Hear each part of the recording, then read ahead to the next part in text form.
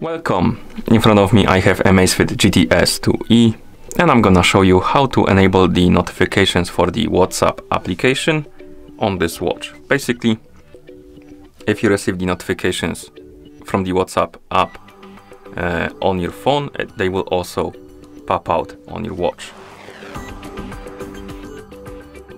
Before we start, if you want to receive the notifications on your watch, uh, your watch needs to be paired with a phone via the Zepp application. Once the devices are paired together, we can continue. Now we can open the Zepp application on the phone that is paired with our watch. In the app, you should see the uh, home page. Now tap on the profile icon and here select your Amazfit GTS 2e from the list of devices.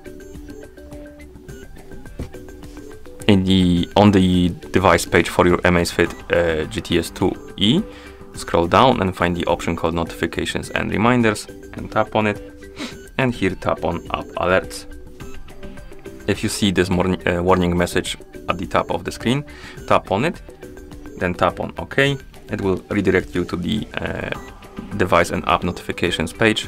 Find the Zepp app on the list, tap on it, tap on the switch to allow it, and tap on allow to allow the notification access. Once you allow the notification access to the Zepp application, you can go back and you should be able to turn on or turn off the phone notifications or app notifications. Okay, once you enable the app notifications, you should see the list of applications here. Scroll through the list, find the WhatsApp app, WhatsApp application rather, and make sure that the notifications for it are enabled. So WhatsApp is gonna be at the bottom, enable it, and once it's enabled, you can basically close the application, and at this point you should be able to receive the notifications uh, from WhatsApp on your watch. And that's how you enable the, notifications for the WhatsApp application on this watch. Thank you for watching.